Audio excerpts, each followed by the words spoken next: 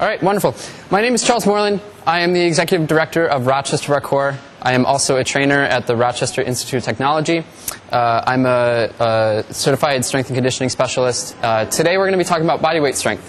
And this is a concept that can sort of be uh, a little fuzzy. A lot of people don't really understand what you're talking about when we talk about body weight strength.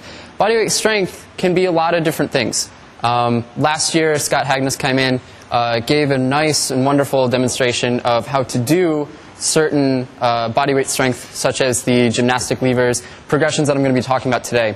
Uh, however, I'm going to take this conversation a little bit different.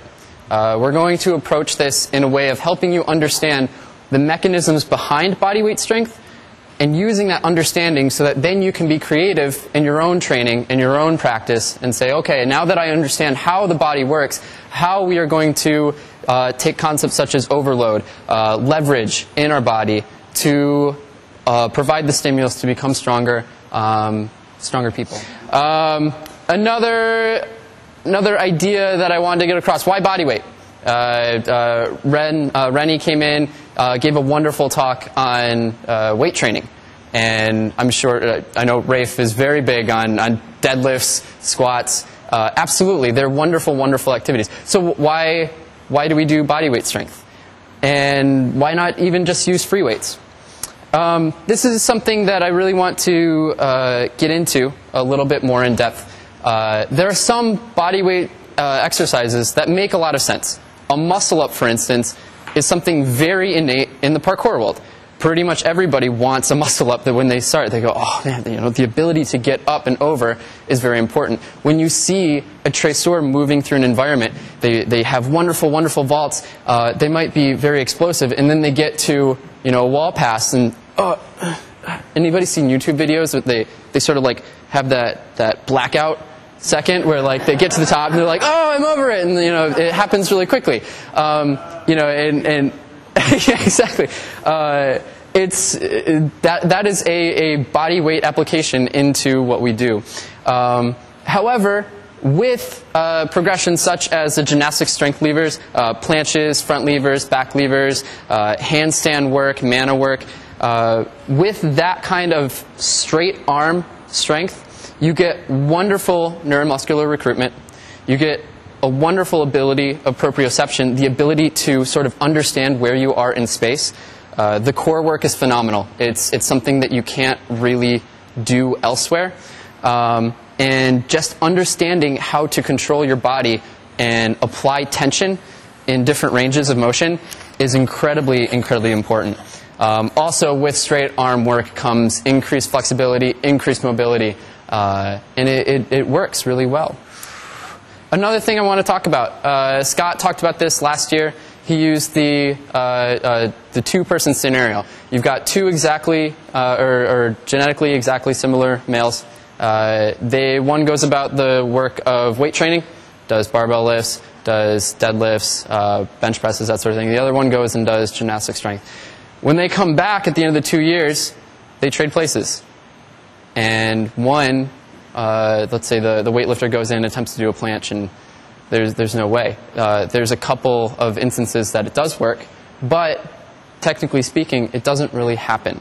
Um, there are some sort of moves that do translate pretty well, such as back levers. If you can do a one-arm chin, which is still uh, a body weight exercise, technically speaking, you can do a, uh, an iron cross. But for uh, all intents and purposes, it doesn't translate.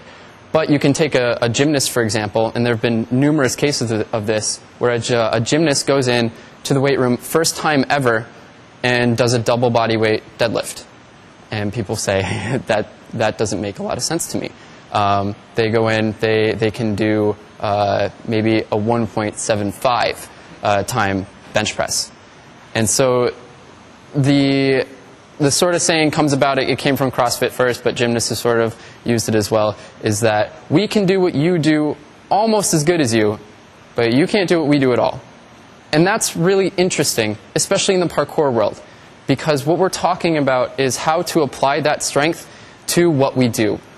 And when, let's say, you are jumping from a box to another box, the second you accelerate off that box and you are in midair, there's a lot happening there. And let's say something goes wrong. Um, you know, there's a lot of forces at stake here where you suddenly need to, you didn't jump far enough, you have to pull your foot out, and then you're falling backwards. And so there's a lot of changes that take place here. The ability to turn yourself in midair is very difficult once you've already have velocity in a certain area. And so that sort of core work, that sort of proprioception to know how far you need to turn, is something that can translate from body weight strength into what we do as traceurs. Um, uh, what we're talking about with leverage is the mechanical advantage of a joint. Understanding where, under certain stretch lengths uh, or certain ranges of your muscle, that they are stronger in some ranges than they are in others. Uh, where's Justin? Is Justin here? Justin, come on over here. Uh, take your shirt off. yeah. Face down, the ground. cool. All right, Justin, I want you to do a simple push up. Just one. You go up, you come down. Very good. Now, I want you to uh, go, uh, move your hands back just a little bit. Do the same thing. Up, come down. Move them back just a little bit more. Move them up, come on up, come down. Keep moving back. Keep going. Yep, go. Get up! what, what we've just did, or what, what Justin just did, was take away the mechanical advantage of his shoulder. Also, his, uh, his elbow joint. That's what, you, you can get up. You can't put your shirt back on. I'm just kidding. Go. um, you're taking away that advantage. And as your shoulder gets further and further away from your wrist, it becomes more and more difficult for your body to overcome that. Show me a good solid handstand. Come on! And take your shirt off. I'm just kidding.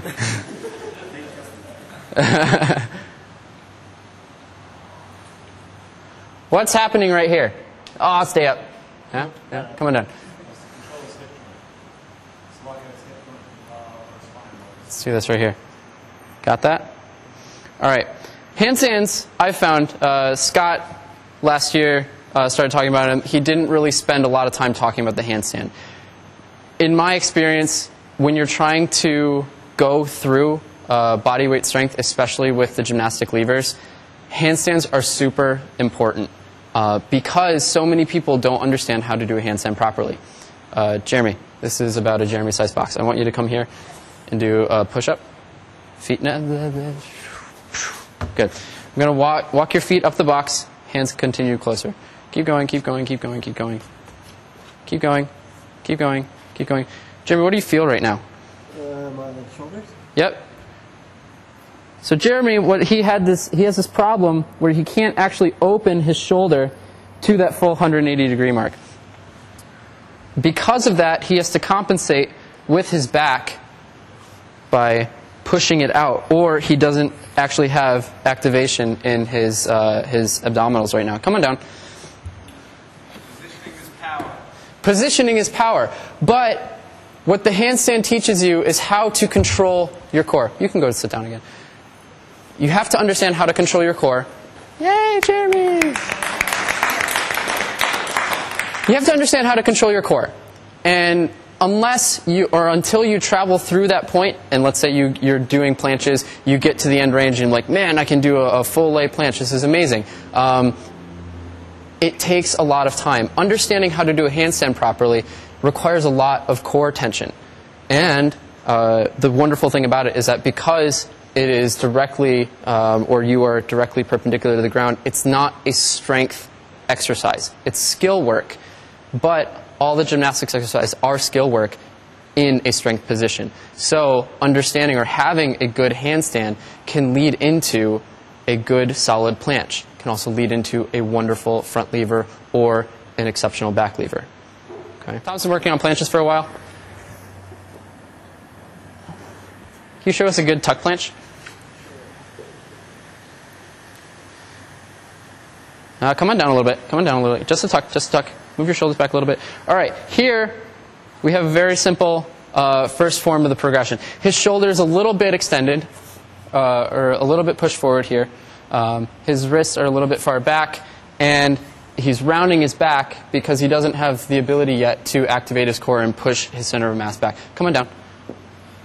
All right, wonderful. Shake your arms out. Shake your arms out. So, right here, I want you to show us an advanced tuck planche. What he's going to do, straight arms. He's going to reach forward just a little bit. I know, I know, And what he's going to, here, one more time. Come on up. Butt down, butt down. Boom, right here. So we've got extension uh, of, uh, or uh, uh, push forward of his shoulder just a little bit further. His back is now straight. His knees are pointed to the ground. This is pretty difficult for him to hold, and is very, very challenging. Come on down. Uh, very challenging. Um, but again, going from a tuck to an advance, as you push your shoulder further forward, you're stretching it, and that leverage becomes greater, and that mechanical disadvantage becomes greater. Feeling strong today, Tom? Not quite. Not quite. All right. Do you have straddle planche? Is there anybody that has a straddle planche? Tyson, come on up. I don't think I have it.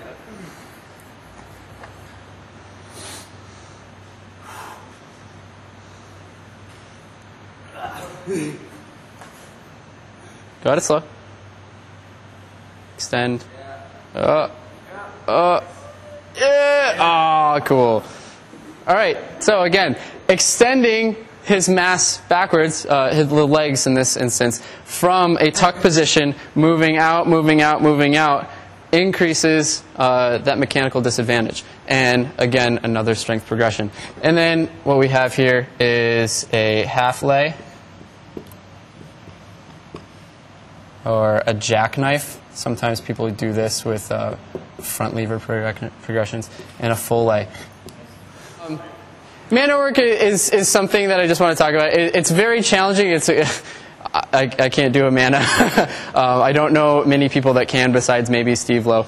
Um, but it's something that especially Steve and Coach Sommer stress a lot in body weight strength is that it lacks uh, or shoulder extension moving back behind the center of mass of the body. All right, yep, go into it. I'll hold. Cool. Boom. So, a manna is kind of when you get your hips to the height of your shoulders, and then high manna is above that. And some, there is actually a guy who No, recently, keep holding. who recently competed a manna dislocate into a handstand. So he went from this position and went all the way up and turned his shoulders around and ended up in a strict handstand. Holy Find it on YouTube. Okay, all right. So we've cued him in this position. We're going to let go, and you're going to hold it, right? Right. I'm just kidding. and that's how you obtain a manna. So yeah, his hips weren't even level, and you really you get your hips above level and higher and higher. Um,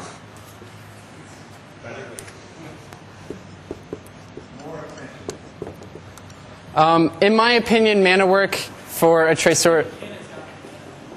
Ken, you've got a, gotten a manna once?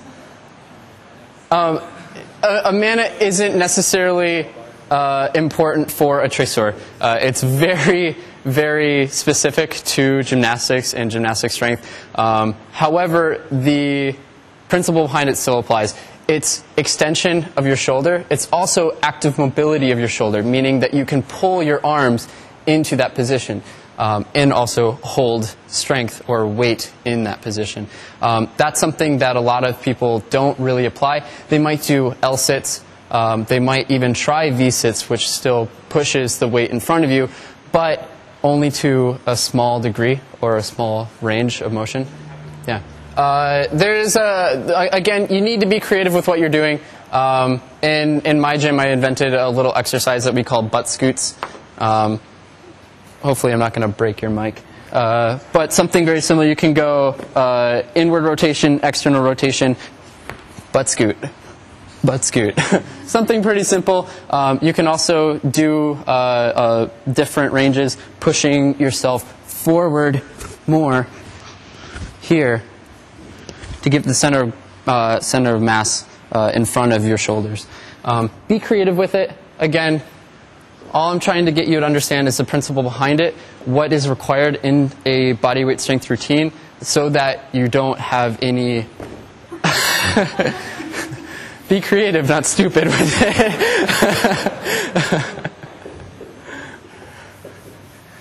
planche first. Remember, whatever planche progression you are comfortable or are capable of doing, if you can't do a tuck, try an L-sit. If you are unable to do an L-sit, uh, do some other activities such as like ring dips, um, even doing just uh, static holds or support holds on parallel bars can help you. And that is another form of progression. Um, time each other and, and uh, switch roles. Find your one rep max. Take two, uh, two measurements so that you have something that's a little bit more accurate. Uh, take time in between to rest. We do not have a clock or, uh, like I can, I can just curl in and hold it for right.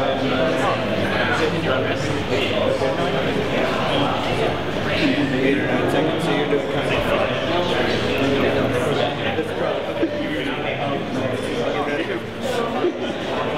Should I